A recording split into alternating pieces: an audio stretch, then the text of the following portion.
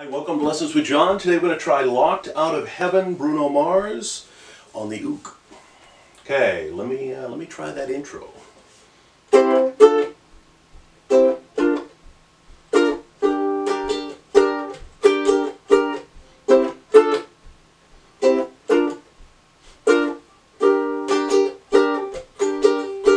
Okay, that's about half the song right there.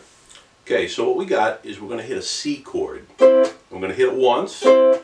C chord is the first string, third fret. That's it.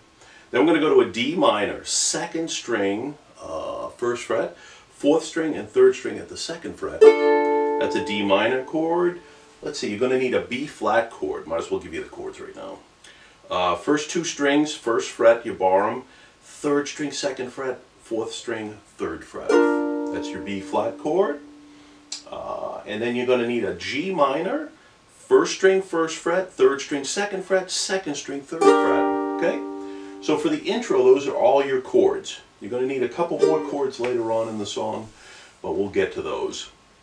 So we hit the C once, the D minor once, and you stop the sound each time. So then you go back to the C, hit it once, then the B flat chord, hit it once, stop the sound, hit it a second time, uh, and then you go to the G minor and you're going to go down, up, down, down, up, down, down, and you repeat that whole thing. So it sounds like this.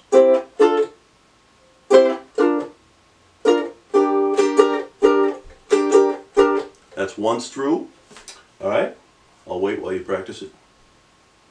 I'm kidding. okay, so you do that twice. That's your intro. Uh, later on, it's also your interlude. Okay. Now, when you get to the verse, it's the same thing, except they do it five times in a row. So.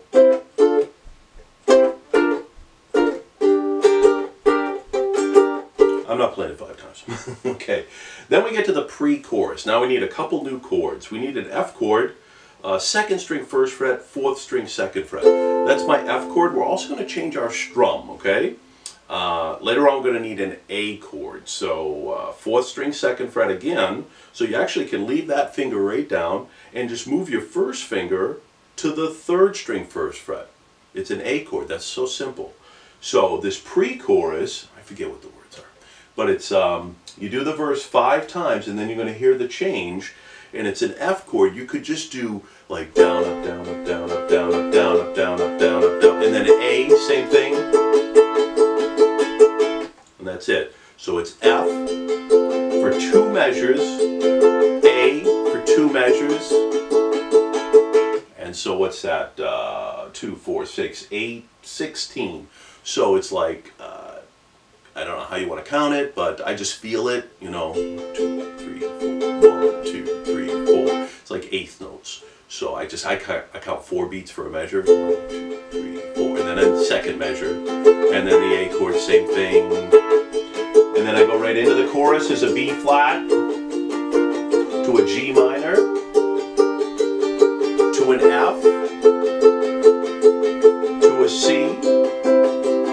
That repeats. B flat to a G minor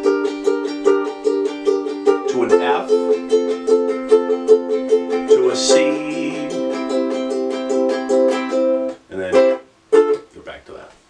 Okay, so uh, let's see. The pre-chorus was F to A.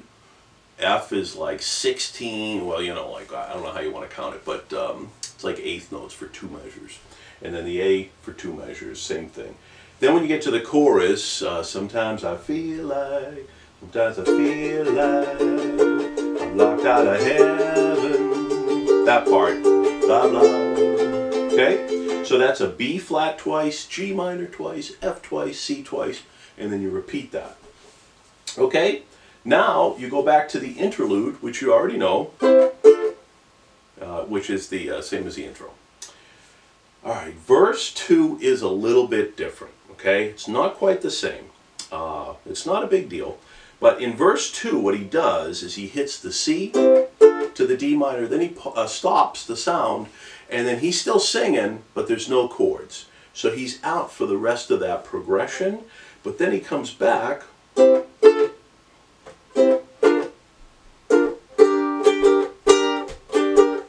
he repeats that progression four times.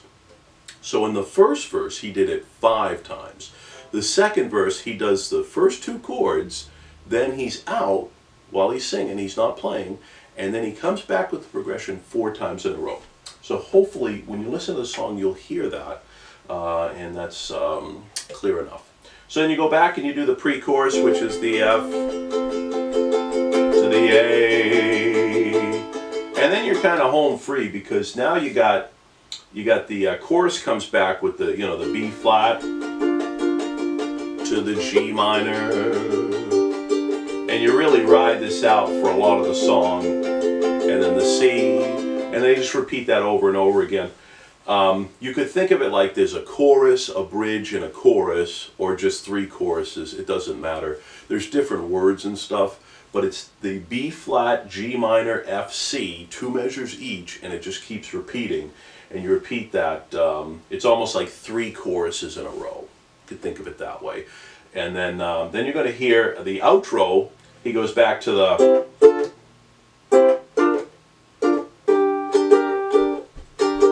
One more time. And